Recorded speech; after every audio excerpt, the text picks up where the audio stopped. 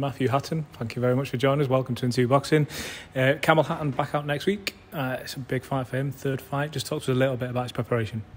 Preparation has been fantastic. Um, I always stress into Campbell it's important that he gets better with it, each fight, regardless of who he's fighting. For each camp, he needs to get that little bit stronger, that little bit fitter, that little bit better all round, and that's certainly been the case. And uh, again, I always sing Campbell's praises about his attitude towards train, training and it's been superb again. So, uh, as his coach, no complaints whatsoever, and uh, expecting a good performance next week.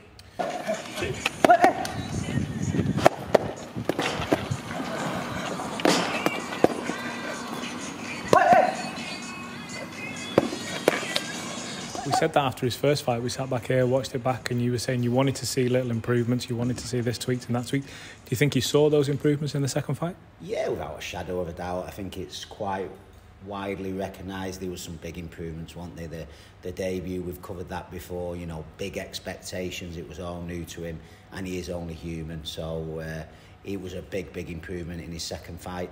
He's capable of. You know, we've only just scratched the surface. You know, it's early days. He's only fighting four rounds, and like I always say, we'll see the best of Campbell over the next two years. But we want to see we want to see improvement with every fight, and I'm, I'm confident and sure that we'll see that again next week.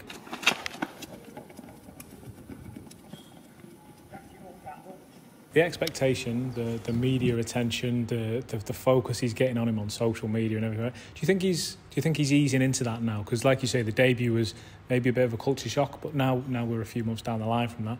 Is he easing into it a bit more? Absolutely, you know, you you learn as you go along. You learn how to deal with the training, the workload the training, and the media commitments. Obviously, it's different for Campbell for a lot of other fighters starting out, and it was just so big. I mean, I always knew it would be big when Campbell turned professional, but I, it shocked me uh, quite the obligations that he had to fulfil there. But he handled it really well. He come through the fight, and he's getting used to it now. Um, and uh, yeah, he's, he's handling everything really, really well. How are you both finding training in this heat? We took some shots outside before, and it was pretty warm. Yeah, pretty warm, and uh, like I say, good to get outside and train sometimes. Uh, you know, training can get monotonous for any fighter, you know, so change of scenery is good. That's why we get out and about to different gyms, you know, great weather out there and uh, getting some uh, some good graft out there and uh, you've got to be cruel to be kind sometimes, Chrissy. I think he used to really like his Uncle Matt till, he started, till I started training him, but uh, he's really coming on, it's for his own benefit and um, we've always trained hard, you know, he's a Hatton we've always been well conditioned and, and Campbell will be no different and he's certainly ready for next week.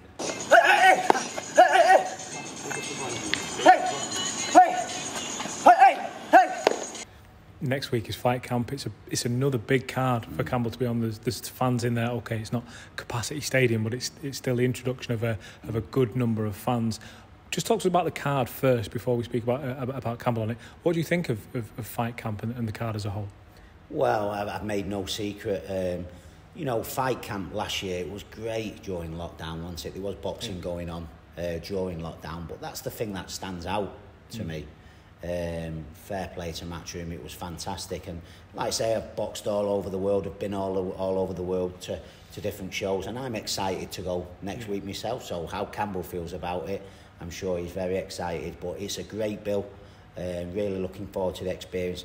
I've made no secret, I'm a big fan of Conor Benn, so I'm really looking forward to watching him too. Do you think you have to, to handle uh, uh, handle Campbell differently now because there are fans in there? Do, do you have to get that into his mindset? There's more people there watching you in the ring, or does that not come into your conversation? No, not at all. You know, he, he boxed in front of a small crowd in, in Gibraltar. Um, bizarre experience last time at the MEN, you know, in a huge arena um, with nobody in there. So, no, it's going to be a small crowd. You know, Campbell's boxed in front of the crowd, obviously, in the amateurs in Gibraltar. Yeah. So, our approach to this isn't any different, really. Uh, and just finally, is, is everything ticking over to, to plan, if you like? How many more times do you want to get him out in the near future? How far, how far ahead do you plan with Campbell's career?